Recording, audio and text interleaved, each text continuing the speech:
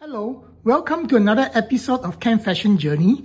As we are already almost 22 to 24 days into the fall season, so my inspiration is let's get dressy. So my first outfit and inspiration for fall is none other than wearing a Harris tweed jacket and then with a simple ice blue shirt and to wear it with the fall type of a, a black watch tartan wool tie and then also to match it with another shade of a, a tartan pocket square.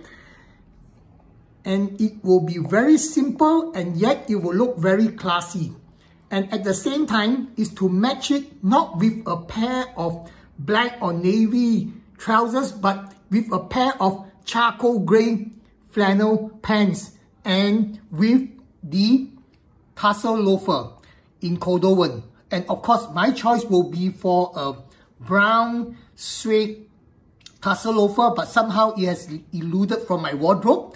And then is to go with a pair of uh, green argyle socks that will make the look. And it is certainly very classy.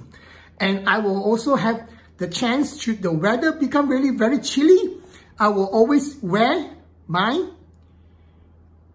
wool polo coat in double-breasted with peak lapel and also to wear my fedora from Christie's of London and of course with a muffler to go with it.